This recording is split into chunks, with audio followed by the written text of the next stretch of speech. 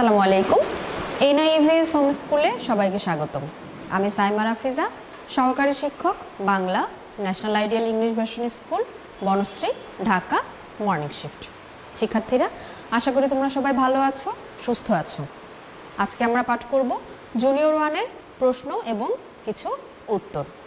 প্রশ্ন এবং উত্তরের প্রথম চারটি আজকে আলোচনা করব এবং তার পরের চারটি আমরা এর পরের ক্লাসে আলোচনা করব। শিক্ষার্থীরা, আজকে তোমাদের পাঠ নম্বর নয়, অর্থাৎ ক্লাস নম্বর নয় এবং বাড়ির কাজ নম্বর হচ্ছে আট, হোমওয়ার্ক নম্বর আট। আজকে আমাদের পাঠ নম্বর হচ্ছে নয় এবং বাড়ির কাজ নম্বর হচ্ছে আট। তাহলে শিক্ষার্থীরা, চলো আমরা আজকে কিছু প্রশ্ন এবং কিছু উত্তর সম্পর্কে জেনে নিই। এখানে আমাদের প্রশ্ন আছে চারটি, এক, দুই, তিন, চার। প্রথম প্রশ্নটি হচ্ছে, বনের ধারে কে গরু চড়াতো? বনের ধারে এক রাখাল গরু চড়াতো। বনের ধারে কে গরু চড়াতো? বনের ধারে এক রাখাল গরু চড়াতো। আমরা জানি সবাই যে রাখাল মাঠে গরু চড়ায় তাহলে বনের ধারে এক রাখাল গরু চড়াতো। কে রাখালের গরু মেরে ফেলল? বাঘ রাখালের গরু মেরে ফেলল। রাখালের গরুকে কে মেরে ফেলেছিল? রাখালের গরুকে বাঘ মেরে ফেলেছিল। তিন নম্বর প্রশ্নটি দেখো। ওই দেখা যায় কি? ওই দেখা যায় তাল গাছ।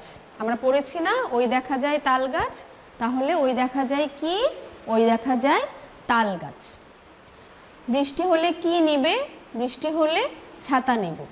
এখন বাইরে বৃষ্টি হচ্ছে না, এখন বর্ষাকাল, বাইরে সবসময় বৃষ্টি হচ্ছে। তাহলে আমরা যখন কোনো কাজের জন্য বাইরে যাব, বাইরে যেতে হবে, তখন অবশ্যই আমাদেরকে কি করতে হবে?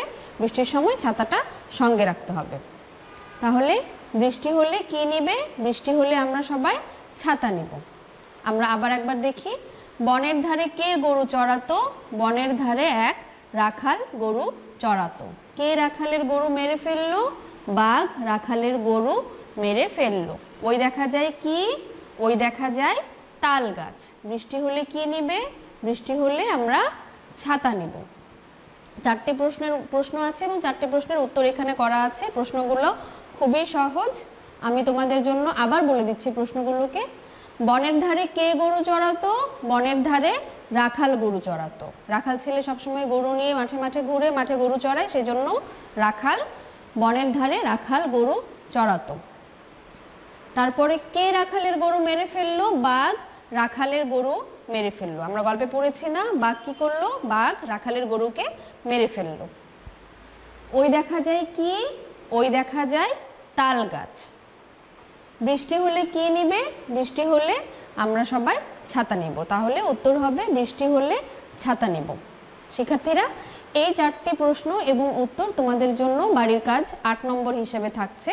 এই বাড়ির কাজটি তোমরা প্রত্যেক রবিবার সকাল আটটা থেকে বিকেল চারটের মধ্যে স্কুলে এসে জমা দেবে এবং বাড়ির কাজটি অত্যন্ত গুরুত্বপূর্ণ, কারণ বাড়ির কাজের সঙ্গে আমাদের কিছু নম্বর এবার যোগ হবে। তাহলে আজকে আমাদের পাঠ নম্বর নয়, বাড়ির কাজ নম্বর আট। আজকে নয় নাম্বার পাঠে আমরা চারটি প্রশ্ন এবং উত্তর জেনেছি। আমরা এর পরের ক্লাসে আরও বাকি চারটি প্রশ্নের উত্তর জেনে নেওয়ার চেষ্টা করব। তাহলে শিক্ষার্থীরা, আমি আশা করি তোমরা সবাই বুঝতে পেরেছ প্রশ্ন এবং উত্তরগুলি।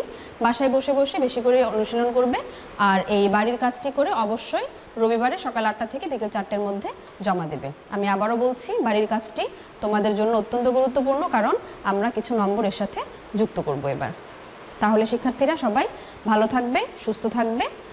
আল্লাহ হাফেজ।